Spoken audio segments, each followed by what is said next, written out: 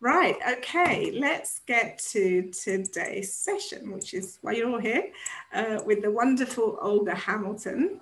And um, Olga ran a couple of sessions for us last year that were very popular.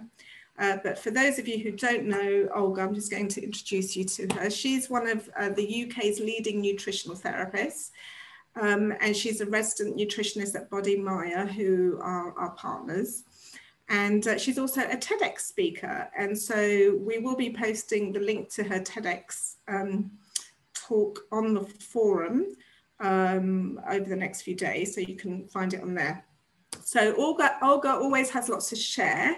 So we have split Olga's sessions into two parts. Uh, so she can also answer your questions as we go along. Now, Olga, for those of you who came to last time, will know that it, she is very thorough and she's science based. So she always applies the latest researches and um, advances in the field of nutrition, nutrigenomics, nutrigenetics, and functional medicine. That was a bit of a mouthful. I got my mouth around that one.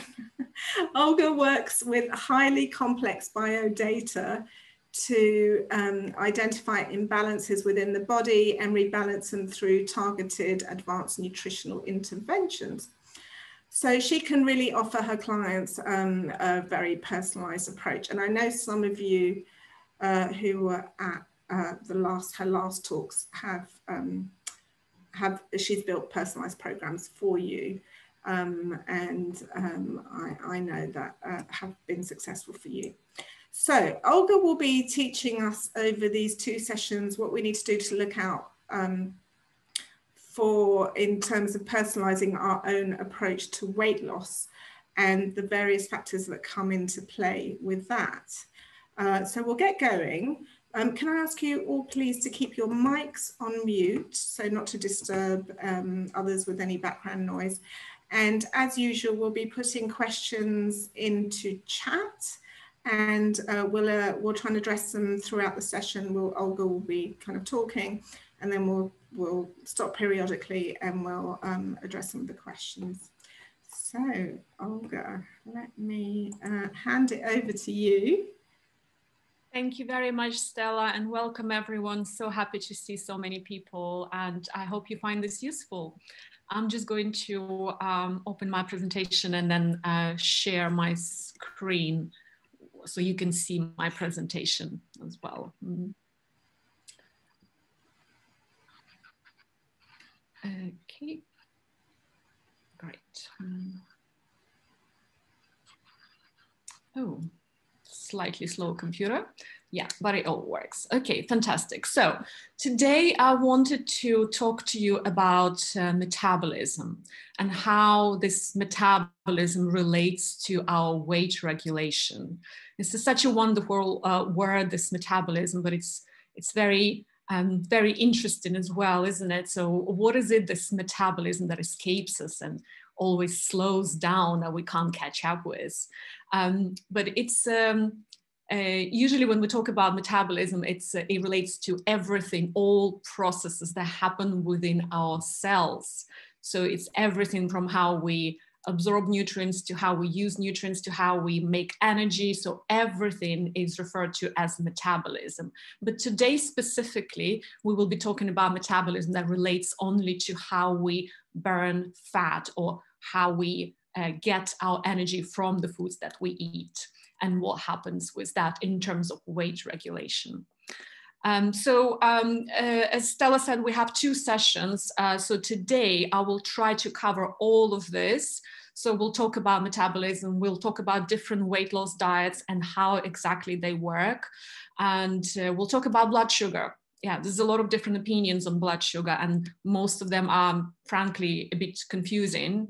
Uh, we'll talk about something that's called metabolic flexibility. And this is the key uh, information that I would like to for you to take on from today's session and perhaps apply in your daily life. This is the secret how you can, um, you know, how you can improve your metabolism. We will talk about the fat switch. There are actually a couple of books on the fat switch, how you can switch between, um, you know, burning your energy from carbohydrates to burning your fat stores and what you need to do in order to get there. Uh, we'll talk about different meal frequencies, so intermittent fasting, you know, keto diets, low carbohydrates, low fat, calorie counting, all of this. And um, I'll teach you how you can uh, calculate your BMR, which is the basal metabolic rate. And we'll also talk about some um, uh, this ACE track. So this is a wonderful device that just um, appeared on the markets. Uh, it's um, it can measure your metabolism. So hopefully we'll have enough time for all of this today. Mm-hmm. So like, right, there's so many different diets, weight loss diets, and we know that weight loss industry is so popular and it makes a lot of money, of course, because why? Because it doesn't work most of the time. We know from scientific studies that if people go on very restrictive diets, when they stop that restrictive diet, the weight comes back. So the key here that I want you to remember through the whole of the session is it's not about finding that crash diet that works. It's about finding the diet that you can do for a long period of time, which is going to become your normal. So it's not something you go on and then go off. And that would be different for everyone. That's why there's not one perfect diet that would work for every single person. Um, now, but all of these diets, they have something in common. This is how they work. So this is this latest scientific review of all weight loss diets that we have on the market currently. Um, and I've highlighted here for you. So what they found really that high protein, low carbohydrate diets and intermittent fasting, uh, they showed greater weight loss and could be adopted um, as, as a jump start. Um, and what that means really, so all high protein diets, such as we know Atkins, for example, low carbohydrate diets uh, could be like a paleo style diet or just low carb or ketogenic diet. Um, or intermittent fasting, they really have the same key um, underlying key factor that uh, that makes them work really, and um, that's blood sugar regulation. You probably heard this uh, about blood sugar regulation before, and you probably heard about different approaches how to do it properly. But it is really the key to how you master your metabolism. And even if there's one thing that you remember from today's session, uh, how how you can manipulate your blood sugar you'll be fine. You will never need a nutritionist in your life. You'll know everything you need to know. Mm-hmm. So we're going to try to learn how to control our blood sugar uh, because this is really the basis of regulating your metabolism. Okay, so we know about the blood sugar uh, roller coaster. So when we have carbohydrates or sugar or anything that contains carbohydrates and sugar, we digest and absorb these carbohydrates as a simple glucose molecule. And that glucose goes into our blood, it's absorbed into our blood. Um, but our body needs to keep blood glucose at a certain level at all times. If our body can't control our blood sugar, that becomes diabetes. So our body needs to control it when we have increased glucose in the blood, our body would make insulin. It will signal to our pancreas to make insulin. Insulin is a hormone, and its job is to take that blood sugar or that blood glucose from your bloodstream and put it into your cells, into your muscle cells, into your liver cells, into your fat cells. And in order for those cells to use it for energy production, this is how we get energy. Or whatever we don't use at the end of the day, we can store as fat. All of the glucose that we haven't used at the end of the day will be converted into fat and will be stored usually around the middle. So this is where people, uh, majority of people, I would say, who have excess carbohydrates, they start putting the weight around the middle, around the organs. This is where our body prefers to store it because it's then easy to access. Mm -hmm. So this insulin hormone, Um, it's probably only famous uh, in terms of when people get diabetes, they need to inject insulin so that they can keep their blood sugar control normal. Uh, but insulin does a lot of different things in our body. So first of all, it removes all this glucose from the bloodstream and puts it into cells for energy production or for storage. But its main role is a fat storage hormone because it makes you store fat. That's the very important thing to remember here. We don't want insulin or we don't want too much insulin because that would make us store more fat. Um, so, uh, sorry, just go back here. Um, the higher spike of glucose we have from carbohydrate or from sugar foods that we have, the higher insulin production happens. So it's, uh, I'll show you a diagram now. You will see very, very clearly that it's a direct link. The more glucose you have or the higher the spike, the higher the spike of insulin is followed afterwards. Mm -hmm and the roller coaster continues because then whenever we have this high spike we usually get a crash. And then the higher the spike the deeper the crash. And when we have the crash this is when we have the cravings again. This is when we feel that we need a snack again. And we feel tired or low mood or irritated or even dizzy. And that's how the roller coaster just carries on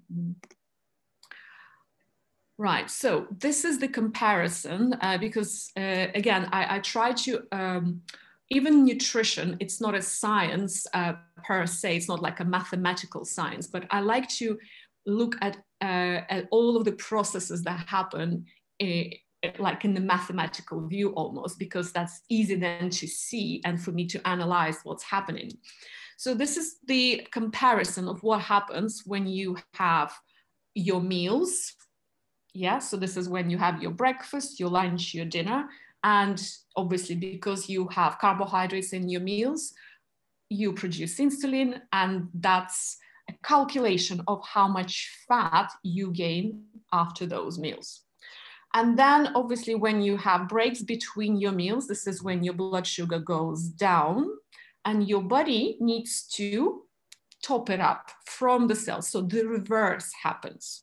And when this reverse happens, when your cells actually open up and release sugar into your bloodstream because you have low blood sugar, you've used all of it almost, this is when you actually can tap into your fat stores and use them for energy. So you can see when there is um, this, this little dip here, a negative dip, this is when a little bit of fat can be burned for energy. And the same happens after lunch, but then look what happens during eight hours sleep. This is when you, when you fast normally. So the, a lot of fat loss actually happens during our sleep.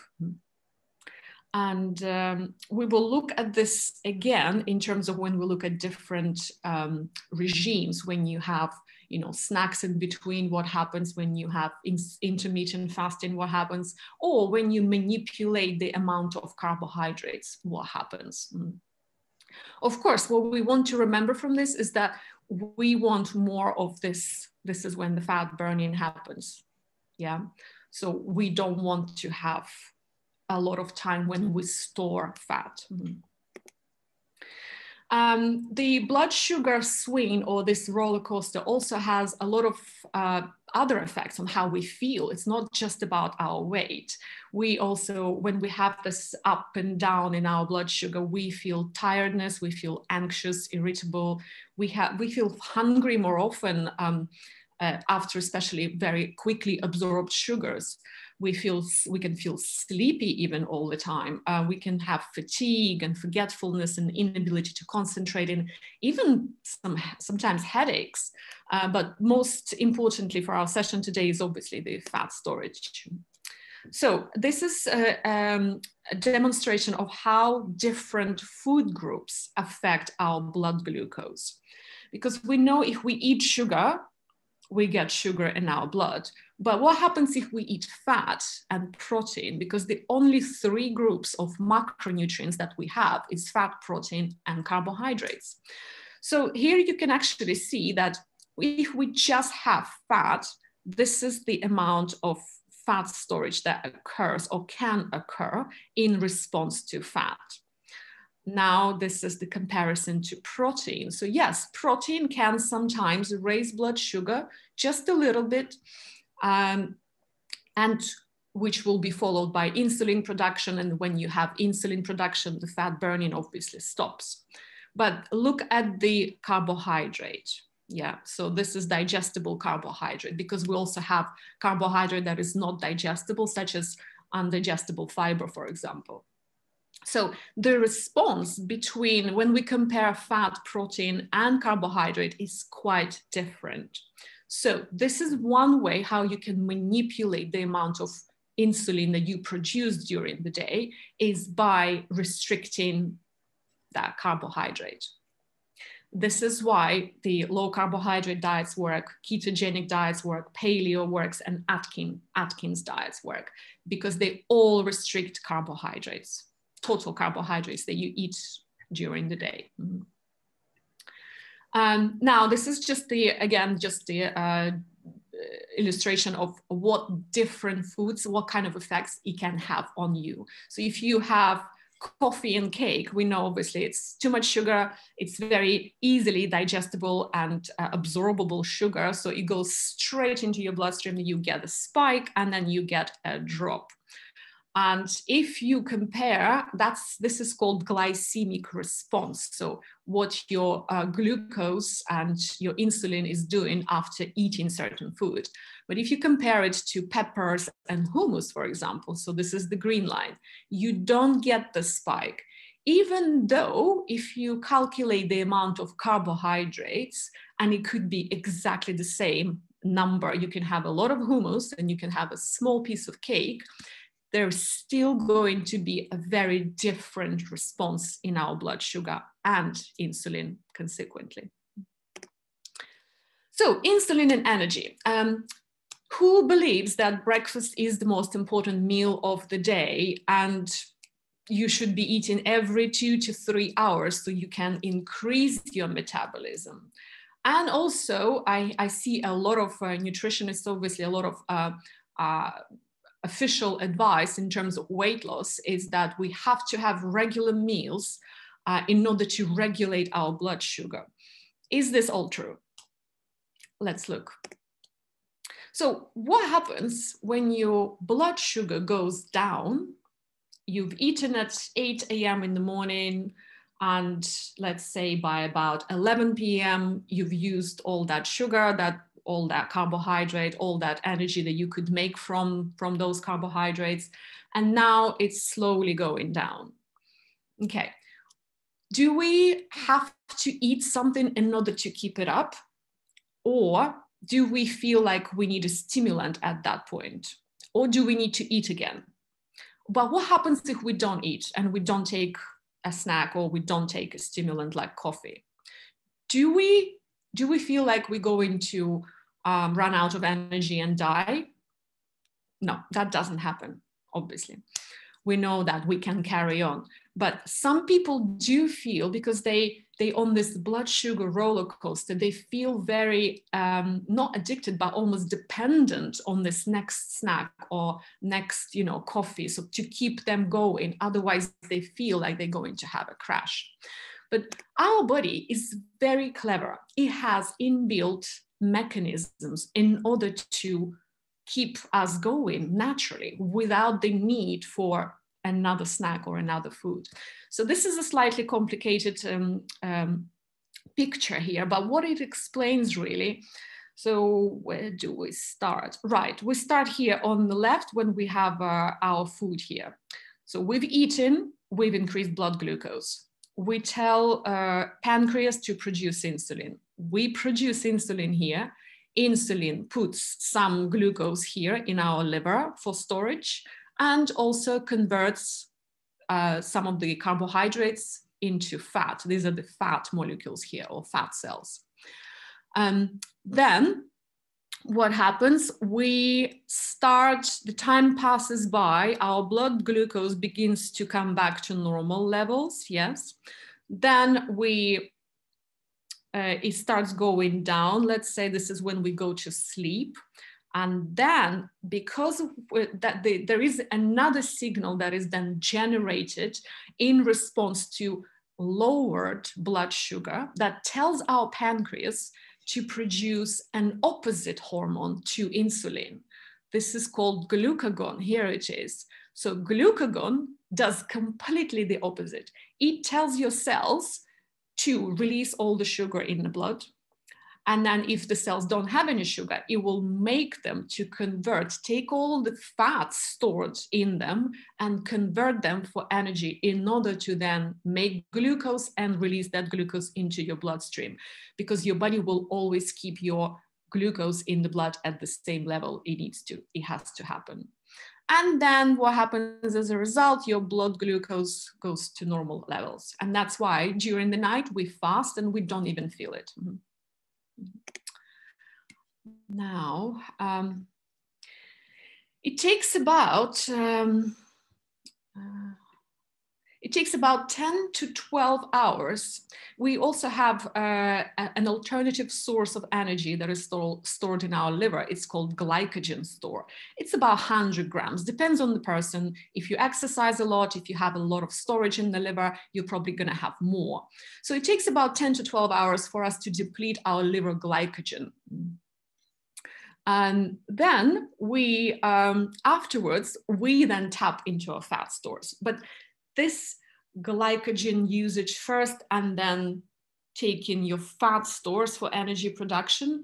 It does have um, a lot of different, uh, it, it, happens at the different periods of time for different people. Again, depends on your metabolism, depends on where you are, your age, your, your fat amount and everything else. Um, but if insulin is present in your blood, that fat burning always stops yeah. So again, the picture here shows um, uh, what, uh, what happens when we have insulin in blood. So here it is, insulin in blood. We have uh, storage in liver cells. We have storage again of the fat and all, all of the uh, sugar in muscle cells. And then we make adipose cells, so that's fat cells. Mm -hmm. um, right. Uh, we then have um, something that's called metabolic flexibility. So this is the ability for us to switch between glucose burning for energy and fat burning for energy. Um, our body prefers to use glucose just because it's, it's easy for our body. It doesn't need to put in any effort really. It's very easy to burn glucose and get energy or calories from that so that we can run on it. But when we need to do the reverse, when we don't have available glucose in our blood, when our blood sugar goes down, when we have to go into reverse and try to get our fat stores and burn them for energy, if a person isn't used to that and hasn't used that metabolic pathway a lot, we call these people metabolically unflexible. So they, it's difficult for them to make that switch. They struggle, they may struggle, they may get headachy, they may get dizziness. Some people refer to it as hypoglycemia. They have very low blood sugar and they feel almost shaky. Uh, and it does happen. Uh, so I've seen this happening in a lot of clients. Obviously, they're too dependent on that glucose, next glucose, next glucose to keep them going. So um, metabolic flexibility develops and you can develop it. It's the ability to switch very easily between the two main sources. You can either use glucose, and then if you've used all the glucose and you have nothing else, then you can go very easily into your fat stores without noticing any symptoms whatsoever. So this is called metabolic flexibility. And every single person can develop that. And this is the um, the central most important thing I would say that if you master it, you, you you're gonna have absolutely no issues with regulating your your body weight, your body fat percentage at all. So when we eat every two to three hours, so this is what the mainstream media tells us that we need to, in order to keep our blood sugar stable, we need to eat every two to three hours to keep our uh, insulin, uh, to keep our blood sugar constantly stable we what we're doing really was we we constantly producing insulin as a response to those you know very uh, very off uh, very frequent meals and that reverse really the glucagon pathway never gets used during the day and what it also does, it makes us too sensitive to low, blue, low uh, blood glucose, this when the blood sugar goes down. And because we become very um, very sensitive to hunger and we become tired and shaky and we have this we we almost develop that dependency on sugar and stimulants um, but if you develop this metabolic flexibility and you can easily switch between the fats so between the uh, the energy sources, you lose all of this. You, you don't need to have another snack. You don't even feel that you need another snack. Mm-hmm.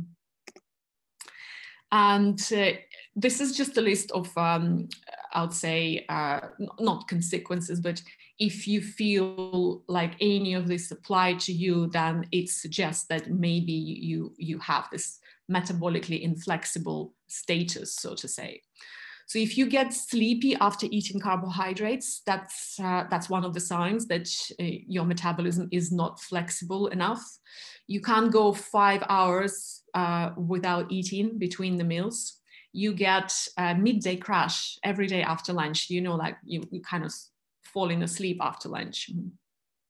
Uh, you feel like you must snack to sustain your energy levels and fasting is very difficult for you. And if you manage to power through the discomfort you actually get worse results when you, than you were expecting. Like a lot of people go on the fasting diets and they instead of losing fat they lose muscle or you know there's absolutely no difference with their fat loss. And you also feel like you can't function without a steady stream of stimulants like coffee tea or sugar uh, it's like why would an obese person who has a lot of fat stores would ever go hungry or feel hungry? Uh, is that that they don't have enough fat stores? No of course they do. They just can't get to them. They don't have the ability to use that. It's too painful for them.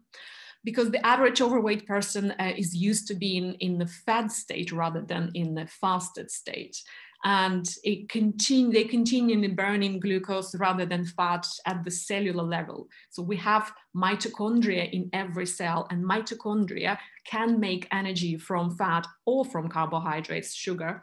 And if you're constantly feeding it sugar, it will preferentially just use one pathway to make um, energy from glucose rather than from fat. And will, it will almost forget how to do, you know, how to make energy from fat. Uh, so it's really important. We'll also look at the mitochondrial function um, later. And we, when we produce a very high level of insulin, um, we, we may get something that's called insulin resistance. And this is the beginning of our metabolism really slowing down because you produce insulin and your cells go, mm, you always produce an, uh, so much insulin, we're not going to react to that. So yeah, let that blood sugar be high and your cells become less sensitive because you constantly pump in a lot of insulin. So your cells become almost we don't want to hear about it. We don't want to hear that signal anymore. And that's called insulin resistance. So chronically high insulin levels, uh, they promote fat storage. And uh, uh, as I mentioned before, they also change, um, make some changes in mitochondria, how it functions. And uh, as the people run out of glucose from their last meal, instead of seamlessly transition into burning fat, they become hungry and they want more glucose from carbohydrates. Mm -hmm.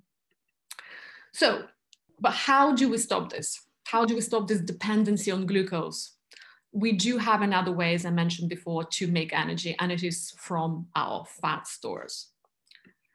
Um, so there are several ways to do it we can either how we can manipulate this insulin production. We can either drop the total amount of carbohydrates in our diets.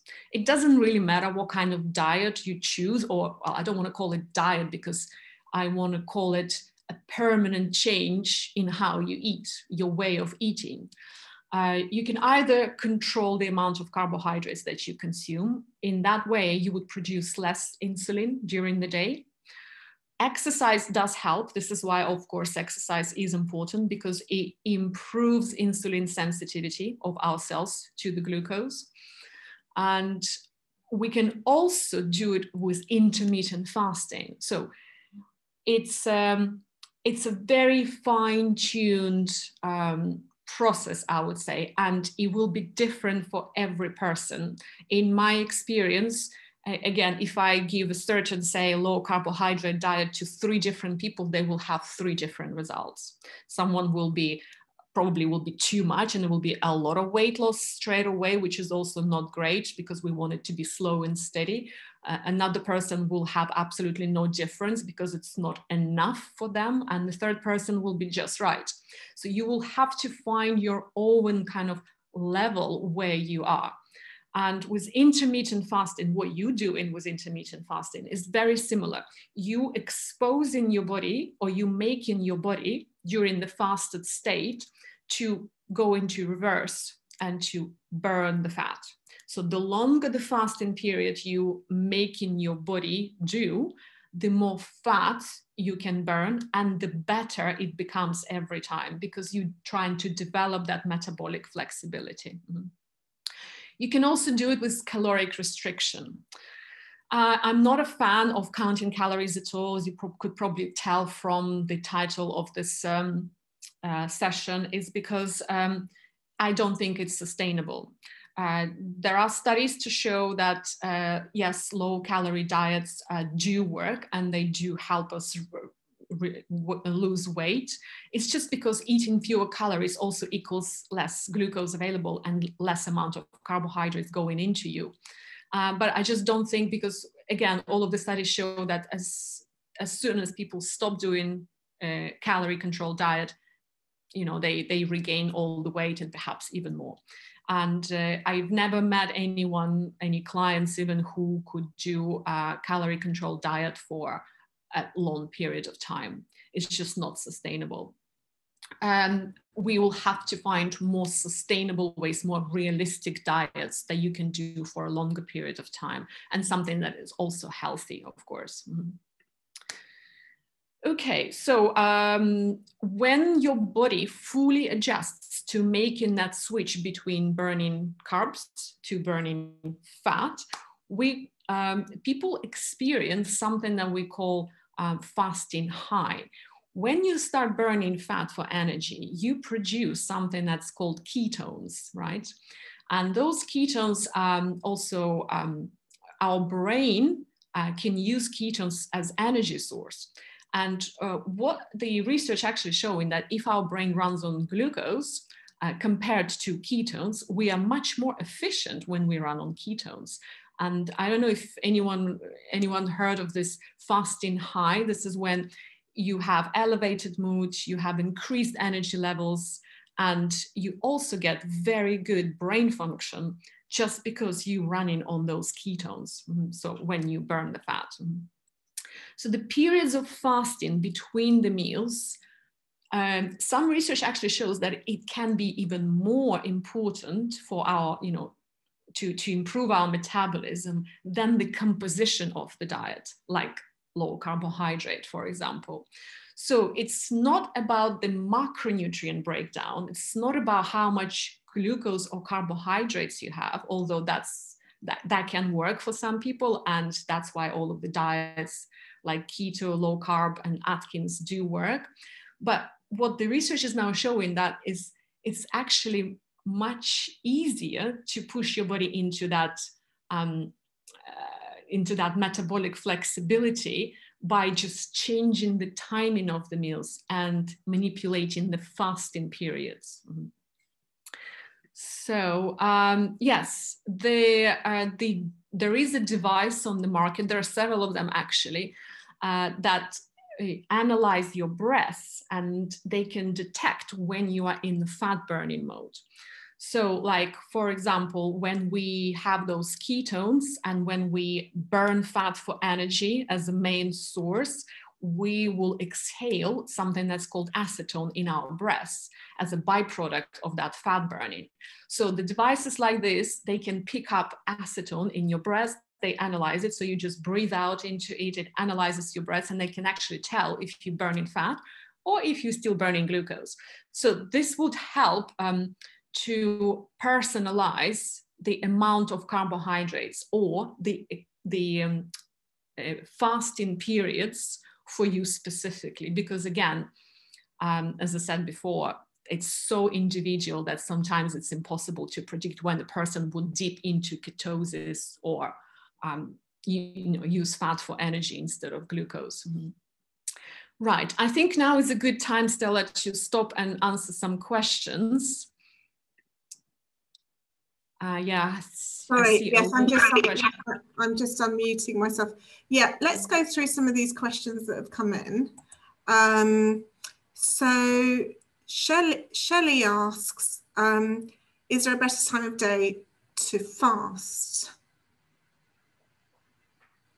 Yes, and we are going to talk about it in the next section. Yes. okay. Okay. So we'll we'll come to that. Um, there's some comments about intermittent fasting make you feel great. I've got to second that. Um, I I have done intermittent fasting for years, and whenever I do it, it makes me feel alive, really amazing, and um, clear-minded. Like waking up in the morning and feeling um, really like. Uh, not groggy at all, very, uh, very aware and uh, energetic. Um, the um, Nadia says um, she's skipping breakfast. She finds it the easiest meal to skip. Is it as effective as skipping lunch or dinner? Skipping and find it easy meal to skip. Um, no, as long as you you manage to keep your fasting window, it doesn't really matter uh, where and, and, or what time you have that fasting window. Mm -hmm. Yeah. Um, so I, I, have a question about that actually, because um, you know I, I, think breakfast skipping breakfast is uh, it works for a lot of people, um, and then you you know you kind of move to lunch, but um, I think a lot of people struggle when they get into that mid afternoon, that four five o'clock when um, even I mean I know for myself as well, but I know it's quite um, common where you where you hit four or five o'clock and your blood sugar drops, and that's when you want to reach for for uh, the glucose, so to speak. Yeah, if you are within your eating window, you'll say if you're doing 16-8 and you're within that eight-hour eating window, it's uh, the research actually shows that it doesn't matter. You, you can eat, uh, you can eat two times, you can eat three times, four times, uh, it, it, doesn't really have as long as you keep the 16 hour fast it still works. Mm-hmm. yeah okay so if you do 16 8 um, which we'll talk about uh, next uh, once once you get into the eight you can eat as frequently as you want is what you're saying? Um, yes i mean obviously we still have to keep in mind those graphs where we show in how much insulin we produce in response to each meal uh, so the, the total amount of insulin will still be slightly higher, but it may not be su such a big difference for you personally. Yeah. Mm-hmm. Yeah. Okay. So um, how long should a fast last between meals? We've said that 16-8, but generally, if you're having even three meals a day, how long should you, you know, if you're not doing the intermittent fasting and you're just having three meals a day, how long should you take before you have your next meal? Uh, I would say probably about five hours. I'm actually just, uh, the next section is about different types of intermittent fasting. Okay, perfect. Okay, um, we all questions are about that, is not they? Yeah, it's about the ketosis, okay. yeah. Okay, and ketosis, not, not recommended for, yeah. Okay, yeah. so okay, can, let, let me move on. Let's just move on. Sorry? Should we just move on? And then we can come back to the questions to see if there's anything that wasn't covered then. Okay, great. Thank you. Uh, so frequency of eating, that's the questions that everyone's asking. Does it matter? Right. Um, I'm still kind of going back to those three statements that I said that um, are very much pushed by the media and mainstream um, kind of uh, dietary advice that you should be eating um, frequent small meals throughout the day in order to sustain your blood sugar. So just wanted to kind of show this to you that benefits of five, six meals per day. Let's look at them. So you get to eat more often, which is obviously a benefit. We all like to eat. Um, you never let yourself get super hungry. So you never reach the point when you are very, very hungry and angry so that you make unhealthy food choices so you have better control. And that's a perceived uh, benefit. And then eating every few hours also can boost your metabolism. That's the belief. And your blood sugar levels stay balanced, right? Keep that thought. Mm-hmm. Now, um, the uh, disadvantages of that are the, your body actually gets used to constant supply of energy. So it's less likely to burn fat for energy because you're constantly giving it something to eat. It always has energy on the go. And constant stimulation of digestion, don't forget, you always digesting, digesting, digesting. Your digestive capacity will get tired eventually. You also lose sight of your body's hunger cues, right? Because your body will actually tell you when it's hungry. And uh, it's a very subtle um, kind of signal that you do need to fine tune to hear properly. If you just feed in your body without feeling the hunger, uh, your body's not going to even bother talking to you about it. So insulin effect also keep that in mind. It's released to deliver sugar from your bloodstream to your cells or to your liver and muscle for storage or for um, energy production. And whatever sugar is left is then going to be stored as fat. So if you're constantly keeping your insulin up during the day by eating five, six meals a day, that's what you're doing. You're just storing and storing and storing and you also think about food all the time. I, I know it, i've been there constant snacking because that's what when i studied at university that's what the general belief was that we have to eat in order to keep our blood sugar stable even though we all had really good snacks still. So this is the comparison of eating five meals per day and eating three meals per day. This is the amount of insulin you produce. It's very easy to see what's happening so in the second uh, uh, graph here at the bottom, you don't even, during the day, you don't even dip into fat burning at all. You just don't even get there. As soon as your blood sugar goes down, you have a snack and it goes up again. You see, it's like always on the up. So you're constantly storing.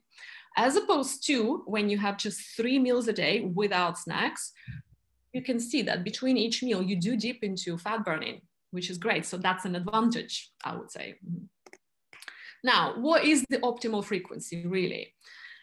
Uh, unfortunately, the, the, the, answer is this, it's very individual. And uh, it could be that a person with adrenal issues, a very stressed person would still need to have uh, frequent meals and in their eating window rather than having big breaks between each meal, just because if they um, if they too stressed, they produce too much cortisol already. And not eating makes them even more stressed. So they will produce more cortisol. But that's a very specific case. So people with adrenal issues can't really do intermittent fasting. We don't really recommend that. But then the normal one, and this is the uh, what I normally recommend to start with, would be three times per day with five hour breaks between each meal. This is actually quite normal eating. You eat at eight and then you eat at one and then you eat at say six or seven. So as long as you keep five hour fast between each meal it does work because you dip in into fat burning. After about three and a half four hours you will dip there. Mm-hmm. and it does work for weight regulation. There is this whole it's called metabolic balance diet that is built on on this um, on the frequency of meals in, in, in this way. Uh, they also change the macronutrient um, ratios. So they do reduce the amount of carbohydrates, they increase the amount of fat and increase the amount of protein, uh, coupled with three times per day with five hour breaks works a treat. Very simple, very easy to follow, and perhaps one of the most effective that I've seen. Um, another way to do it would be to have two or three meals, uh, but restrict your eating window to eight hours. That's another very popular way. A lot of people doing it, and a lot of research now shows that it is um, it's very effective. Plus, it doesn't have many um, adverse effects, or you know, almost everyone can do it. Um, but again, it's very individual. Some people can't. Mm -hmm. Uh, there is also 5-2 diet you probably heard of. So this is when you eat normally for five days and you fast on two non-consecutive days. Well, by fasting, you've probably seen the, the 5-2 diet by Michael Mosley. So he uh, suggested to have 500 calories for women and 600 calories for men, so under six or 500 calories. By restricting the, um, the calories on those days, your body goes into a fasting mode or a fasting mimicking mode, and it also produces very similar results. Although with 5.2, um, I don't, see, um, the compliance and um, is not that great because um, I think what my clients tell me, they say, oh, as soon as I start eating, then I can't stop eating for the day. So it's really difficult for them to limit it to 500 calories. They prefer not to eat at all, and then they feel better. They don't feel the, you know, raving hunger or um, cravings. So with 5-2 is a little bit, you know, also very individual. There is also alternate day fasting that's been used in the studies, and uh, that's considered very effective. But again, I don't think that's very uh, sustainable, I would say. Mm-hmm. Um, right, now if we compare, again, going back to insulin, how does it work? When you understand this about insulin, it doesn't really matter what diet you go for, you, you will know what you need to do. You can almost make your own diet up. Mm -hmm uh, as long as you kind of keep in mind how much insulin you produce during the day and you keep a, a limit on that and you know how to manipulate it, you will lose weight or you will lose fat or you'll get that fat storage burned for energy eventually. So we compare in here three main meals per day uh, spread out throughout the day uh, with two meals in eight hour periods. And this is what we're seeing uh, we're looking at the fat burning at the bottom of the screen, so the green line. So we, when we take the fat burning um, area, right, mathematically we're calculating. So obviously we can see when we're eating twice a day in eight hour window, we burn a lot more fat compared to just three meals a day. But again, for some people, it could be too much. For some people, it may be not enough. So you will have to find your own kind of, it's a spectrum, right? And there's, there are extremes. So you'll have to find your own point on that spectrum. And of course, you know, 16A diet's been uh, popularized with lots of celebrities like Nicole Kidman reportedly has um, uh, 16-8, but also uh, she controls her carbohydrate intake. Um, Hugh Jackman talked about it uh, a lot as well. Um, so time restricted eating is really not a new thing. And it's nothing uh, that I would say is uh, um, radical even at all, because throughout human history, we have Ramadan, we have Great Lent. These are the examples of intermittent fasting regimes. And um, what is also important here, how we now understand how it works and why it's so good for us is because it also improves how our mitochondria functions. And these are little powerhouses or power plants within our cells. These are the ones that actually make energy. They burn that sugar molecule and they create energy from it, or they burn that fat molecule and create energy from it. And depending on what type of mitochondria you have, what they do exactly, you can improve your metabolism as well. So it almost like it flips the switch from glucose burning to fat burning for energy. Yes, the intermittent fasting thing.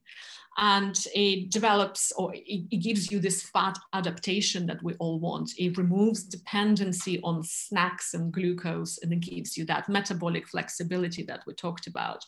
Perhaps it's even easier than just restricting carbohydrates. So you don't really need to restrict carbohydrates that much if you're doing the intermittent fasting. Mm-hmm. But again, up to you to choose. Some people prefer intermittent fasting, some people prefer just to drop carbohydrates, and both can work in the same way. Um, yes, um, so mitochondria, our power reactors. The more mitochondria we have in our cells, the more energy we can produce, the better our metabolism is. So we need to look after our mitochondria. There's a lot of different things that we can do, like exercise, it can improve the number of mitochondria. Cold exposure is very effective. This is why, you know, it's, it's uh, advised, I suppose, to have a cardio session in the morning on an empty stomach and then have a cold shower. The combination of this would increase the amount of mitochondria in your cells. Um, so these are just the simple, easy things to do. And of course, the intermittent fasting also would improve your mitochondria quality, but also increase the number of mitochondria. There's just a couple of studies that I, I found that, uh, like for example, high intensity intermittent exercise uh, improves our mitochondrial mass. So it makes them more efficient or makes them bigger and also makes them more efficient at producing energy. Um, Okay, so some benefits of intermittent fasting beyond weight loss. Uh, I was talking a little bit about this um, keto high when people feel this incredible brain power and uh, energy when they go into ketosis. Yeah, this is when we burn fat instead of carbohydrates. So um, it can increase rates of neurogenesis in the brain. So we actually recently discovered that we can create new brain cells in the brain and we can do it with intermittent fasting. It, improves our brain performance. It has shown really great, significant improvement in our mood and our focus and our memory.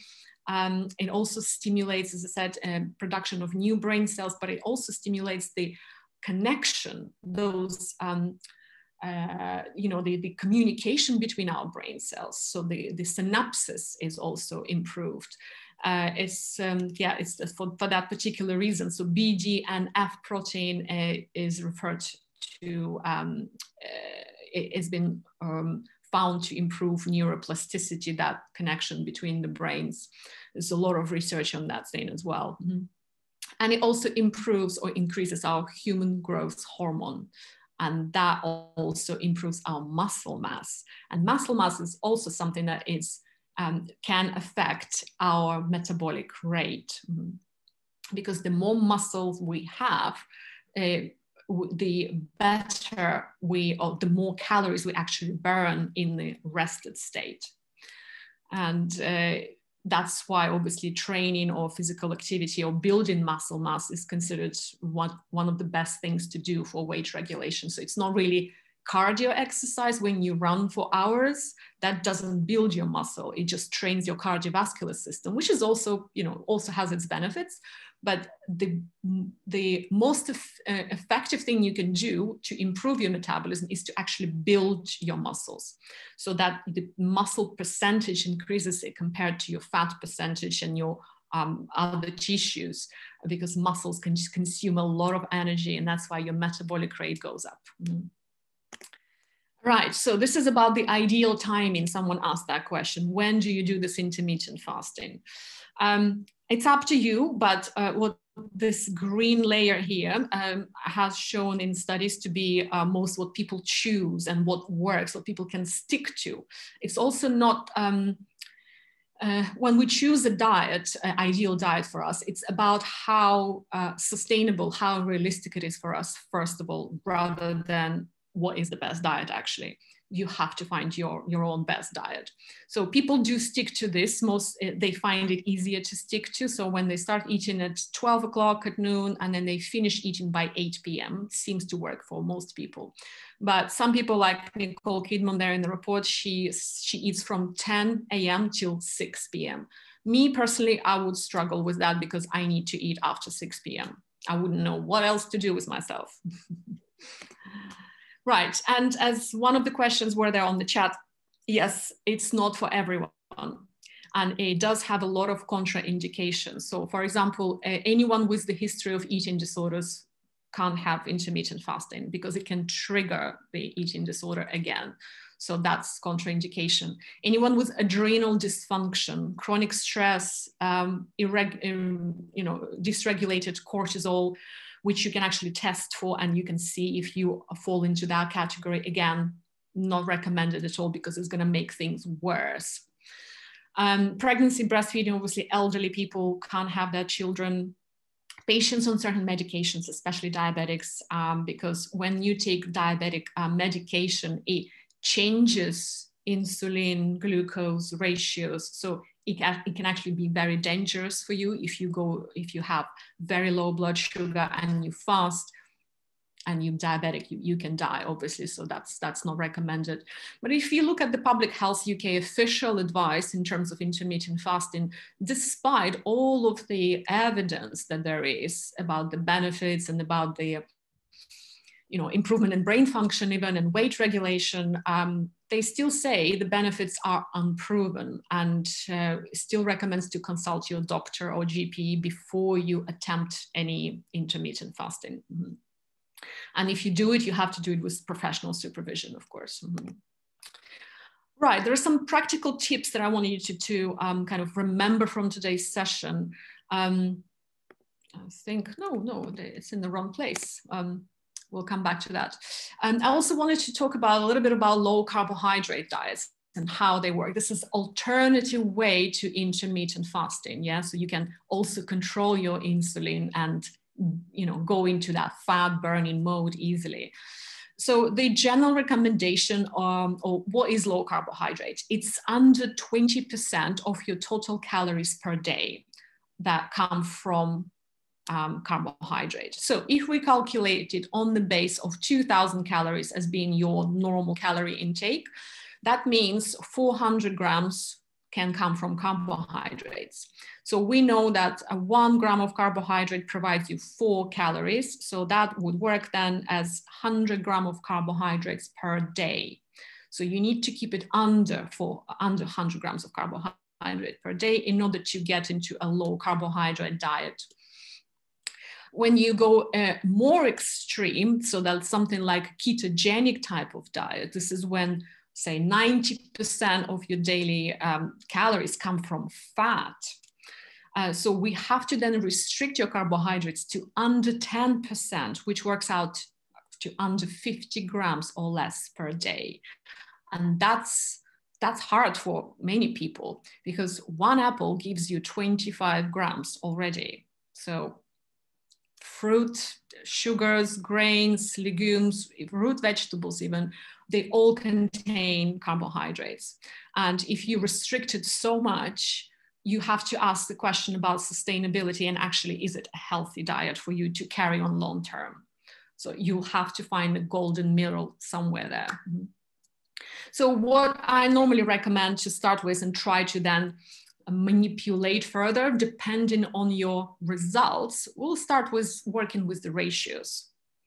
And we also, I don't really like when we talk about restrictions or we say, oh, you have to cut this out, because that's when people feel, oh no, I, I don't know if I can do this. And that's kind of a negative thing rather than positive. So I'd like to start with the positive something like, okay, here are your targets. This is what you need to eat per day, rather. So we focus on something that you need to eat and achieve rather than something that you have to cut out. And that normally does work better. Mm-hmm. So this is how you can calculate your basal metabolic rate. And this is the formulas for men and for women, but you don't really need to remember this or write this down. And there's a lot of different um, uh, online calculators. If you just Google BMR calculator, there'll be plenty because it needs to take into account your your age, your activity levels, size of your body, obviously what you weigh now in order to work out how many calories you need per day in order to just be and live, right? And it will be different then for each person depending on their size and their activity level and their age.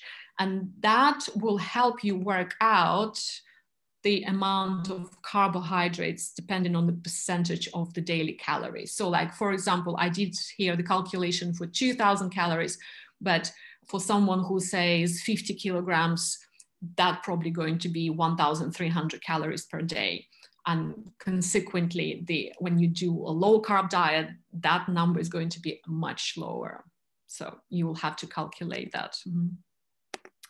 Um, right. So the the best place to start, I would say, is the ratios on the plate.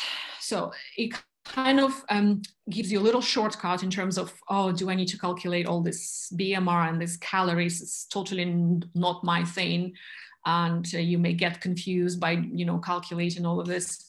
So just split your plate uh, like you see in here. Half of your plate needs to be covered by vegetables. You can see there's leafy greens and salad here. There's some other vegetables here. Um, now, quarter of your plate um, are your carbohydrates. So you're limiting your carbohydrates in this way by just ratios. So when we say carbohydrate, carbohydrates, that's, that's your grains, that's your root vegetables, your legumes, and also fruit go there. And then quarter would be your protein.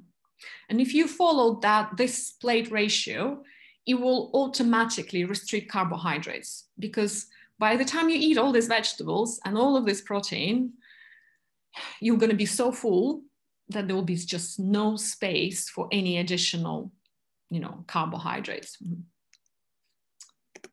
Um, right, so like some examples here, like how I normally ask my clients or what I normally say to my clients to focus on, what to focus on.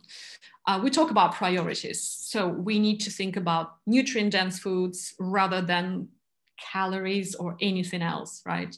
So I want them to focus on fiber, protein, and healthy fat. So these are just the examples. So eggs with two vegetables for breakfast. Eggs provide you your protein, your healthy fat.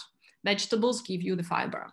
Large vegetable salad with protein. Again, fiber, protein, and of course you use the dressing, olive oil, that's your healthy fat. Dinner, fish and two vegetables. Again, fish could be, if it's oily fish, your, your fat, your protein, vegetables give you fiber. Um, yogurt, again, protein. So um, you see there's there's not much space there for carbohydrates at all like if you really really wanted you probably could feed a cake somewhere there but i mean it's it's plenty of food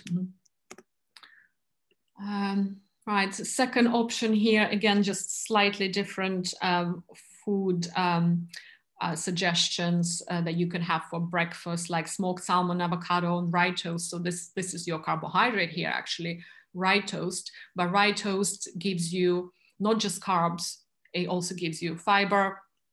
And I think there's some seeds in that bread as well. So that gives you healthy fat as well. Uh, we're not only restricting the carbohydrates here, but we also um, reducing the spike of that glucose. We're trying to keep it almost unnoticeable, even if you get some kind of increase in blood sugar. So it's not crazy going up and then down. It's only having a slight increase and then a slight reduction. So fiber helps with that, protein helps with that. So this is why it's really um, not good to have a carbohydrate on its own on an empty stomach because that's just going to go straight into your bloodstream and cause the spike. This is when you uh, when it's really important to combine each meal with a protein and with healthy fat and with fiber. It will slow down the release of carbohydrate into your bloodstream. And this is just the vegan option, I think, yeah, of the fiber, protein, and healthy fat. But again, the central message here, we always have to think about nutrient density, right? Because the healthy metabolism and weight there's so many things that can prevent you from uh, from working properly. Um, we're going to talk next time about a lot of different things, um, uh, such as you know we, we're going to talk about the calories in, calories out. Is that actually working as it's supposed to be working, or we think it's working? We're going to talk about resistant weight loss as well. Why this is happening because yeah, it's all good to know all this information. But again, I do see in, in clinical practice, I do see people who trying so hard to lose weight and nothing works. It does happen, and there are reasons for that. We'll look at the hormones. Your thyroid can do this. So, if you don't produce enough thyroid hormones, it slows down your metabolism. Also, we'll look at your adrenals. Again, if you produce too much cortisol, you will have resistant weight loss. Mm-hmm. We'll look at genetics because of course, we are very, very different genetically. And whatever's good for me doesn't mean it's going to work in the same way for you because we are totally different. There is also very exciting research about our gut microbiome. Um, we actually think it's the missing link that, you know, the we, we can't explain sometimes why this person has exactly the same diet as I am, but I'm losing weight and this person doesn't. But there's nothing wrong with the person. The thyroid works well, adrenals work well, and we check all of the obvious reasons, and nothing's nothing's wrong. So we now think that it's due to the gut microbiome. Um, it's very interesting research. Basically, there are several types of bacteria that make more fat and more sugar um, and in our guts, and then we would absorb that. So basically, whatever we eat, double that, and then we will absorb all of that. So when we manipulate gut microbiome, we can make ourselves lose weight just by changing different types of bacteria in our gut. We'll also look at different uh, vitamins and minerals because we know there's a lot of research about vitamin D and weight loss. Very interesting research. So I want to show you all of this. And of course, this all of this can be tested and all of this can be looked at if if you struggle with, with weight loss. Obviously, everything needs to be looked at. Mm -hmm. Okay, so there are several uh, slides here I kind of missed, but um, we can talk about them next time. But is there anything else that you wanted me to add? Meaning, if if you want to send some particular questions or particular yeah, we can. You, you, know what? You, um, we can put put your comments on the forum if there's anything in addition to Olga's extensive list there. I don't know. I'll give you a prize if you can think of anything in addition to that list. but um, but but yeah, just put it in the comments in the forum. Um, I do have just a couple of questions here. Um, what drinks can you have during intermittent fasting? So obviously nothing with sugar because uh, you know that's very high carb. Um, how, how does alcohol fit into that? And what mm. alcohols? I mean, I know certain spirits have less sugar and less carb. Yeah, well, ideally you would need to include them in your eating window, but if you can't, I mean, there's zero sugar prosecco, I think, or champagne, and some yeah. spirits. Yes, they are better than say mixers. Yes. Yeah, yeah. Okay, and um, is there a test to establish if one has dysregulated cortisol? Which I guess we're going to talk about next time with adrenal issues. Um, so we can address that in ne- next week. And there are tests. And I know you you actually um, do a lot of these tests yourself, don't you? Um, you do a lot of testing with your clients. So um, on that note, if anyone, uh, we, we work with Olga and Cornelius uh, in Body Maya. So if, if anyone is interested in creating like a personalized um, package, just drop drop us an email, info at Wellbeing Escapes, and um, we'll put you in touch with them. Um, okay, uh, will you cover the role of leptin next week? Now that's an interesting one. Yes, I'll write it down. Yes, write that down. That's a big one, isn't it?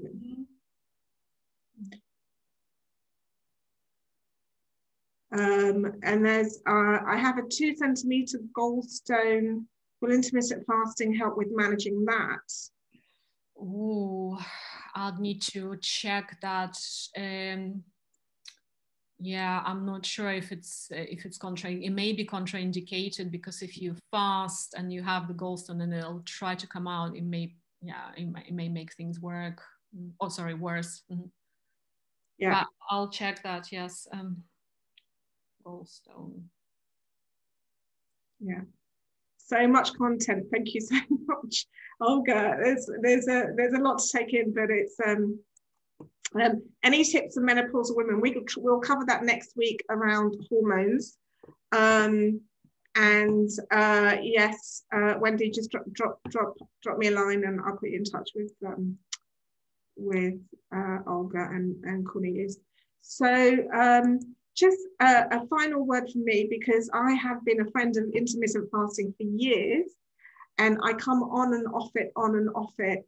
Um, I have one question, selfishly, before we go, um, which is is it like does it become a way of life? Is it something that you should continue with if you do the you know the um 8 uh, 16 is that something that you should continue with all the time or could you go back to three meals a day and then flip backwards and forwards because I, I kind of flip from 8 um 16 8 5 2 three meals a day what's your view on that before we just close it i, I think you need to be consistent yes mm-hmm. okay That answers my question.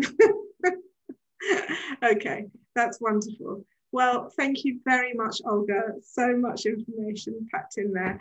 Um, we will. Uh, can I ask you for something? Can you share with me that BANT image? Oh, yes. I'm going to put that on the forum. The mm-hmm. one that gives you the guide on um, how you know what have on your plate. That's good. Um, and maybe a couple of the diet pages, and then we'll put those up there so people can refer to them um, for this week. Any questions, any comments, please post in the forum. Obviously, I'm trying to push you to use the forum just in case you haven't realised if it's not that obvious, but, um, but please do so. And um, really looking forward to finding out more next week. Olga, uh, thanks for your time. Everybody have a wonderful week ahead. Stay strong, stay mentally strong, stay happy, all of those things. We'll, we'll all get through this. And um, giving everybody lots of um, good wishes and uh, looking forward to seeing you next week.